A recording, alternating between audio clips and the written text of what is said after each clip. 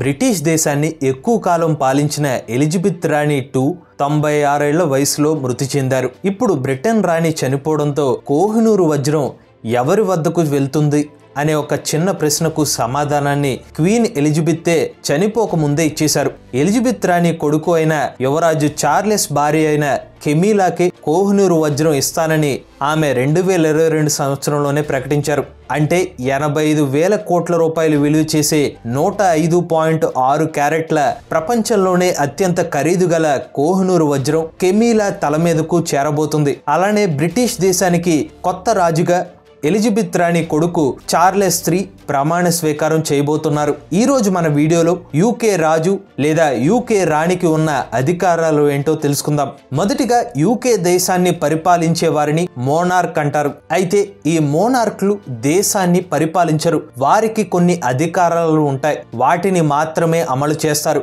యూకేలో ప్రభుత్వానికి ఎన్నికలు ఉంటాయి. కానీ బ్రిటిష్ మోనార్కి మాత్రం వంశపారంగా వచ్చే అధికారాన్ని అనుభవిస్తారు. ఎప్పటి వరకు అంటే వారు చనిపోయే వరకు. మనలో చాలా మంది కన్ఫ్యూజ్ అయ్యే మరొక విషయం యూకే దేశాన్ని ఎలిజబెత్ రాణి మాత్రమే పరిపాలిస్తుంది అని అనుకుంటారు. అది నిజం కాదు. మనం చిన్నప్పటి నుండి ఎలిజబెత్ రాణి మాట విని విని బ్రిటిష్ దేశం అంటే ఎలిజబెత్ రాణియే అని అనుకుంటాం. కానీ వాస్తవానికి యూకే దేశాన్ని రాణి పరిపాలిస్తుంది. రాజు కూడా పరిపాలిస్తాడు. ఇప్పటి వరకు యూకే దేశాన్ని అరవై ఒక్క మోనార్కులు పరిపాలించారు? వారిలో యాభై ఐదు మంది రాజులు కాగా ఆరుగురు రాణులు. అయితే ఎలిజబెత్ రాణి ఎక్కువ కాలం పాలించడంతో యూకే దేశాన్ని రాణిలే పరిపాలిస్తారు అని మనలో చాలా మంది భావిస్తారు. అది నిజం కాదు. ఇక ఇప్పుడు బ్రిటిష్ మోనార్క్ అధికారాల గురించి తెలుసుకుందాం. యూకే దేశంలో ప్రధాన మంత్రిని మోనార్కే అపాయింట్ చేస్తారు.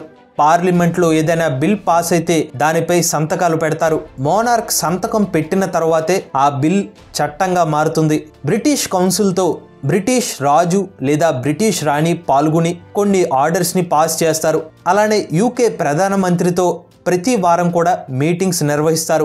ప్రతిరోజు రాష్ట్రాల్లో తీసుకొచ్చే ముఖ్యమైన చట్టాలు పనులపై సంతకాలు చేస్తారు. మనలో చాలా మందికి తెలియని మరొక విషయం ఏంటంటే బ్రిటిష్ మోనార్క్ యాభై నాలుగు దేశాలకు గౌరవ అధ్యక్షులు కూడా. అయితే ఈ దేశాలపై బ్రిటిష్ రాజుకి గాని రాణికి గాని ఎటువంటి అధికారాలు ఉండవు. ఆ యాభై నాలుగు దేశాలే కామన్వెల్త్ దేశాలు. అందులో భారతదేశంతో పాటు ఆస్ట్రేలియా కెనడా న్యూజిలాండ్ మొదలైన దేశాలు ఉన్నాయి. ప్రతి నాలుగు సంవత్సరాలకు ఒకసారి కామన్వెల్త్ గేమ్స్ జరుగుతాయి. ఆ ఆటలకు బ్రిటిష్ మోనార్క్ గౌరవ అధ్యక్షులుగా హాజరవుతారు. ఇక చివరిగా బ్రిటన్ దేశాన్ని పరిపాలించే కుటుంబాన్ని రాయల్ ఫ్యామిలీ అంటారు. వీరి కుటుంబం వల్ల కూడా యూకే దేశం యొక్క ఆర్థిక వ్యవస్థ మెరుగుపడుతుంది. దానికి కారణం రాయల్ ఫ్యామిలీ వద్ద ఉన్న ఆస్తులు బ్రిటిష్ రాణి ఎస్టేట్లు వారి కుటుంబ ఆభరణాలు వజ్రాలు వైడూర్యాలు ఇలా అన్నీ కలిపితే యూకే మోనార్క్ కుటుంబం యొక్క ఆస్తుల విలువ అరవై ఏడు బిలియన్ యూరోలు. అంటే కొన్ని లక్షల కోట్ల రూపాయలు.